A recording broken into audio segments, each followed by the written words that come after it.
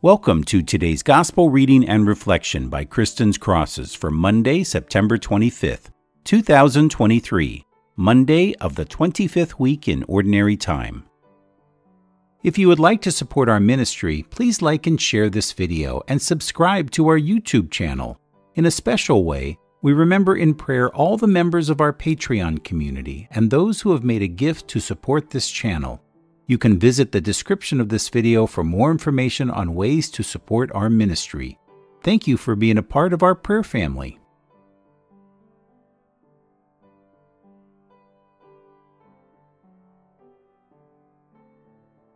In the name of the Father, and of the Son, and of the Holy Spirit. Amen.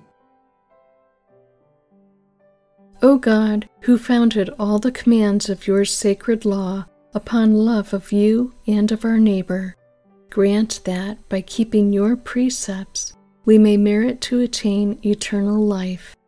Through our Lord Jesus Christ, your Son, who lives and reigns with you in the unity of the Holy Spirit, God forever and ever. Amen.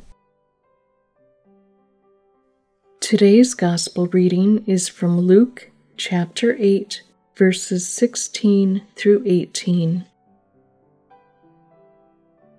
A reading from the Holy Gospel according to Luke. Jesus said to the crowd, No one who lights a lamp conceals it with a vessel or sets it under a bed. Rather, he places it on a lampstand, so that those who enter may see the light. For there is nothing hidden that will not become visible, and nothing secret that will not be known and come to light. Take care, then, how you hear. To anyone who has, more will be given, and from the one who has not, even what he seems to have will be taken away. The Gospel of the Lord. Today's Gospel Reflection Today's Gospel reminded me of the movie Dead Poets Society, where Robin Williams' character, who was a teacher at an all boys school, tells his students Carpe diem, seize the day.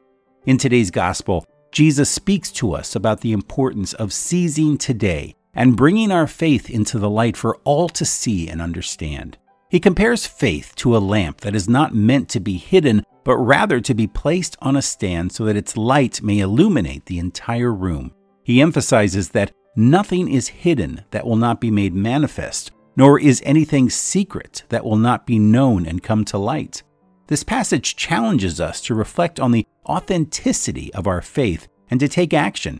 Are we living our faith openly, allowing it to shine forth in our words and deeds, or are we hiding it away, keeping it in the shadows?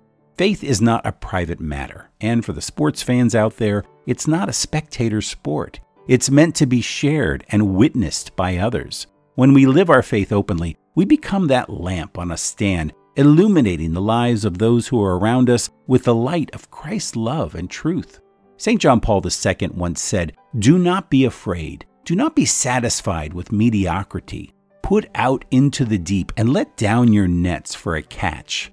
These words remind us that faith requires courage and depth. It calls us to go beyond the surface, to cast our nets wide and be unafraid, to let the light of our faith shine brightly.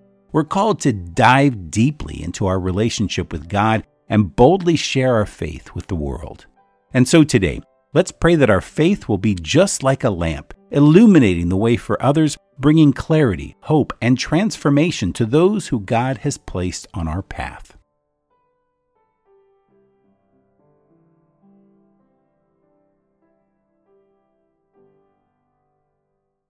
We invite you to continue praying with us.